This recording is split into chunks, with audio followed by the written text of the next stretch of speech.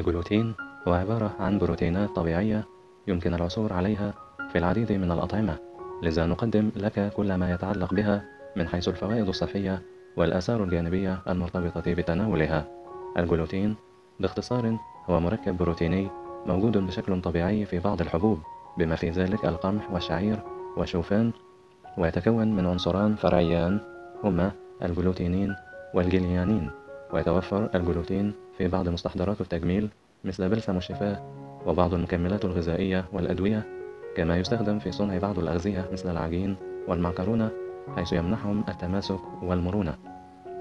الأطعمة التي تحتوي على الجلوتين يجب على الأشخاص المصابون بمرض الاضطرابات الهضمية تجنب جميع الأطعمة التي تحتوي على الجلوتين وتشمل الأطعمة المصنوعة من الحبوب مثل القمح والخبز والحلويات والكعك والفطائر والبطاطس المقلية والمعكرونة واللحوم المصنعة وشراب الأرز البني ومشتقات الشعير بما في ذلك الخبز والخل والحليب وبعض أنواع صلصة الصويا. يوفر الجلوتين العديد من الفوائد الصحية. أهمها يحمي من السكتات الدماغية. وجدت العديد من الدراسات العلمية أن الأشخاص الذين يتناولون الجلوتين من اثنين إلى ثلاث حصص يوميا ينخفض لديهم خطر الإصابة بالسكتة الدماغية مقارنة بمن يتناولون حصة أقل. مضاد حيوي. يحارب الجلوتين البكتيريا المسببة للعديد من الأمراض المرتبطة بالجهاز الهضمي مثل التهابات الأمعاء ومتلازمة القولون العصبي.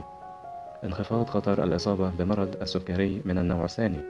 أكد بعض العلماء أن الأشخاص الذين تناولوا الجلوتين لديهم فرصة أقل للإصابة بداء السكري من النوع الثاني بنسبة 13% من أولئك الذين لا يشمل نظامهم الغذائي هذا البروتين التقليل من خطر الإصابة بأمراض القلب وجدت دراسة أجرتها كلية هارفارد للصحة العامة أن استهلاك الجلوتين ارتبط بانخفاض خطر الإصابة بأمراض القلب التاجية بنسبة 15% الوقاية من سرطان القولون والمستقيم أعلنت منظمة الصحة العالمية في دراسة أجرتها عام 2015 أن تناول الحبوب الكاملة التي تحتوي على عائلة الجلوتين تقلل من خطر الإصابة بسرطان القولون والمستقيم بنسبة 17% مضاعفات الجلوتين. قد يسبب الجلوتين آثارا جانبية خطرة لدى بعض الأفراد وتشمل حساسية الجلوتين وهي عبارة عن قيام جهاز المناعة الذاتي بمهاجمة بطانة الأمعاء الدقيقة كردة فعل طبيعية عند تناول هذا البروتين مما يؤدي إلى عدم امتصاص المواد المغذية في مجرى الدم.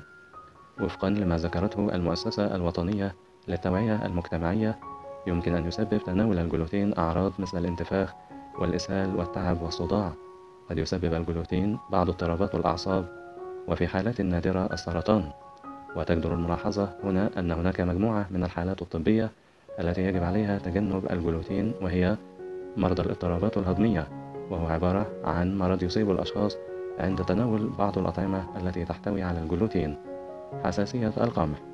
الأشخاص المصابون بهذه الحساسية لا ينصح بتناول الجلوتين تجنبا لظهور بعض الأعراض مثل التورم أو الحكة في الفم أو الحلق وضيق في التنفس. التهاب الجلد الحلقي الشكل DH المصابون بهذا المرض قد يسبب لهم الجلوتين الطفح الجلدي أحمر اللون والذي يكون على شكل بثور أو نتوءات. التوحد.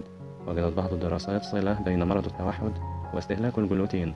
فالمصابين لديهم فرصة أكبر في إنتاج الأجسام المضادة IgG والتي يمكن أن تتفاعل مع الجلوتين بشكل سلبي.